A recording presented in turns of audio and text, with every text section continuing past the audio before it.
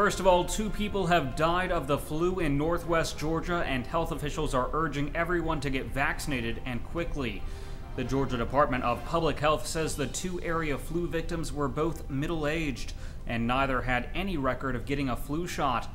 The fatalities are the first flu deaths reported in the area this year, bringing Georgia's total death toll this season to 20. In Middle Tennessee, 12 people have died from the flu this season including 11 year old Savannah Hyden.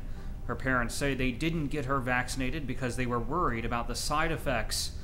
Tennessee typically sees its highest number of flu cases in January and February.